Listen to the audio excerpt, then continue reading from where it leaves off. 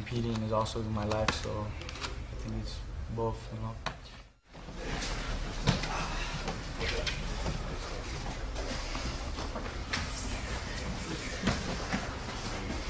Mo.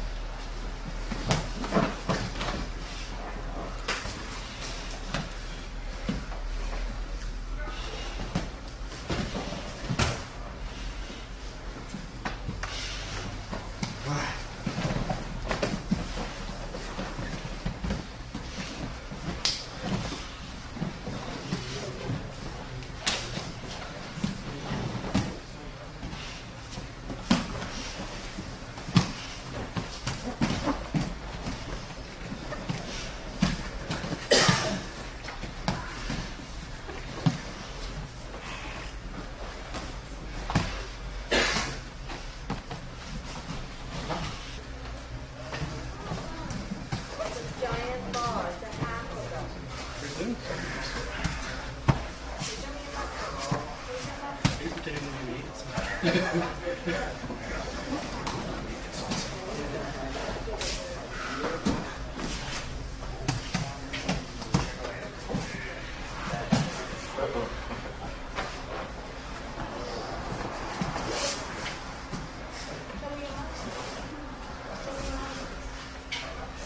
do your family feel about you competing? Is it something they want you to do, or has the you know is the the world your oyster? If you wanted to do something else, would would people say, "Ah, why don't you compete?"